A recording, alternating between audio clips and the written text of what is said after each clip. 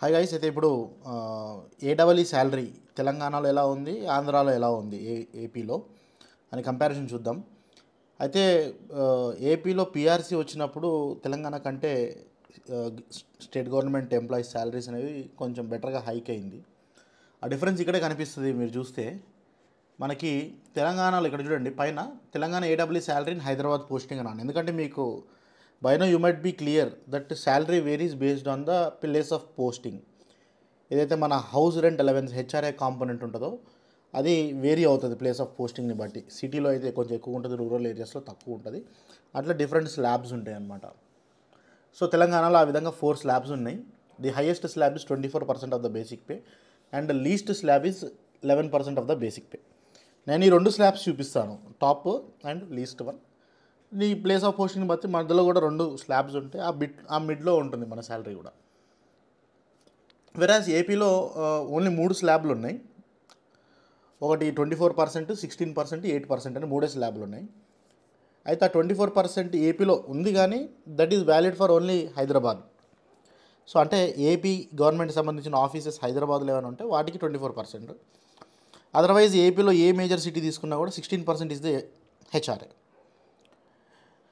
so ఆ కాన్సెప్ట్లో మనం చూద్దాము ఏ విధంగా ఉన్నాయి శాలరీస్ సో మెయిన్ మీకు ఇక్కడ దెబ్బ కొట్టేది తెలంగాణలో ఏడబ్ల్యూ బేసిక్ పే చూడండి. ఫిఫ్టీ ఫోర్ టూ ట్వంటీ అది ఏపీలో ఏడబ్ల్యూ బేసిక్ పే చూడండి. Fifty seven one hundred so మనకి బేసిక్ పేలోనే చాలా డిఫరెన్స్ ఉన్నది. తెలంగాణలో తక్కువ ఉంది ఏపీలో ఎక్కువ ఉంది. And in fact power sector salaries కూడా చూసుకుంటే ఏపీలో యూఆర్ హ్యావింగ్ బెటర్ పేస్ ఇప్పుడు. As compared to Telangana. So ఇట్లా హౌస్ రెంట్ అలవెన్స్ ఇప్పుడు తెలంగాణలో డిఏ ట్వంటీ త్రీ పర్సెంట్ ఉంది. Actually it should have been somewhere near to thirty percent ఉండాలి. కానీ తెలంగాణలో ఏపీ కంటే స్లోగా స్టేట్ గవర్నమెంట్ ఎంప్లాయీస్ సంబంధించిన డిఏస్ కానీ ఇవన్నీ ఇష్యూస్ని స్లోగా సెటిల్ చేస్తున్నారు. మొదటి నుంచి కూడా అలాగే నడుస్తుంది. ఏపీలో పెద్దగా ఇబ్బంది ఏం లేదు. తొందరగానే డిఏ ఇష్యూ చేయడం కానీ ఇవన్నీ కూడా జరుగుతూ ఉన్నది.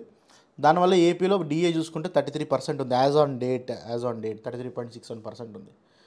సో ఆ లెక్కన ఇవన్నీ చూసుకుంటే ఇక్కడ తెలంగాణలో అడిషనల్గా ఇంటర్మ్ రిలీఫ్ వస్తుంది ఒక ఫైవ్ పర్సెంట్ ఆ ఇంటర్మ్ రిలీఫ్ కూడా పీఆర్సీ వచ్చేంత వరకు ఈ పీఆర్సీ వచ్చిన తర్వాత ఇంటర్మ్ రిలీఫ్ రాదు. అప్పుడు అప్డేటెడ్ స్కేల్స్ ఉంటాయి.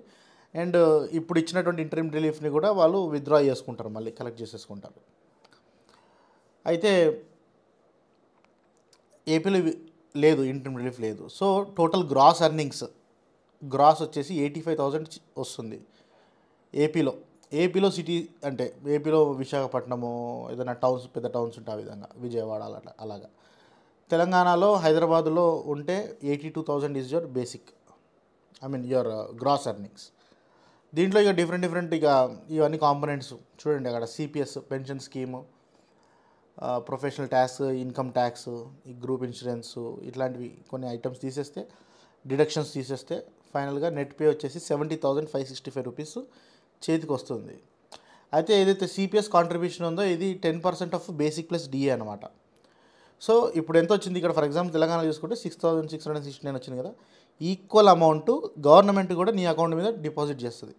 అంటే నువ్వు ఒక సిక్స్ థౌసండ్ గవర్నమెంట్ ఒక సిక్స్ థౌసండ్ పన్నెండు వేలు డిపాజిట్ అవుతాయని దాని మీనింగ్ సో అది కూడా హిడెన్ అర్నింగ్ అనమాట నీకు బయటికి కనిపించదు. ఏదైతే ఎంప్లాయర్ షేర్ ఉంటుందో అది నీకు బయటికి కనిపించదు. ఇట్ ఇస్ హిడెన్ శాలరీ అనమాట హిడెన్ అర్నింగ్ అనమాట ఏపీలో చూసుకున్నట్లయితే ఈ విధంగా ఫైనల్గా వచ్చేసి సెవెంటీ టూ థౌజండ్ నీకు చేతికి వస్తుంది. ఓకే? తెలంగాణలో సెవెంటీ హైదరాబాద్లో ఏపీలో ఏ టౌన్లో తీసుకున్నా సెవెంటీ టూ థౌసండ్ వస్తుంది. సో స్టిల్ ఏపీలో ఒక రెండు వేలు ఎక్కువనే ఉంది salary.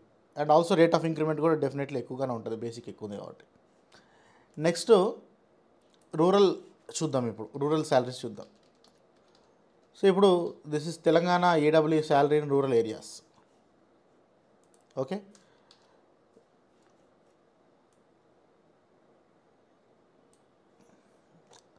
So same basic pay అదే ఉంటుంది నీకు వేరియేషన్ వచ్చేసి హెచ్ఆర్ఏలో వేరియేషన్ వస్తుంది. సో తెలంగాణలో లీస్ట్లో లీస్ట్ హెచ్ఆర్ఏ లెవెన్ పర్సెంట్ ఏపీలో లీస్ట్లో least HRA eight percent.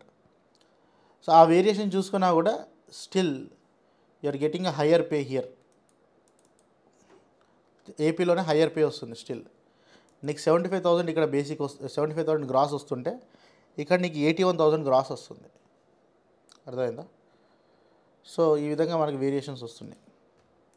Next deductions అంతా తీసేస్తే చేతికి వచ్చే శాలరీ చూడండి in hand salary in hand salary వరకు వచ్చేసరికి తెలంగాణలో రూరల్ ఏరియాస్లో సిక్స్టీ ఫోర్ థౌసండ్ చేతికి వస్తుంది. ఏపీలో అయితే సిక్స్టీ ఎయిట్ థౌసండ్ ఓ నాలుగు వేలు ఎక్కువ వస్తుంది. సో ఏడబ్ల్యూ శాలరీ కంపారిజన్ ఈ విధంగా ఉంది తెలంగాణ అండ్ ఏపీలో so better pays are there in AP power sector తీసుకున్నా స్టేట్ గవర్నమెంట్ ఎంప్లాయ్మెంట్ తీసుకున్నా కూడా ఏపీలో బెటర్ పేస్ ఉన్నాయని మనకు అర్థమవుతా ఉంది.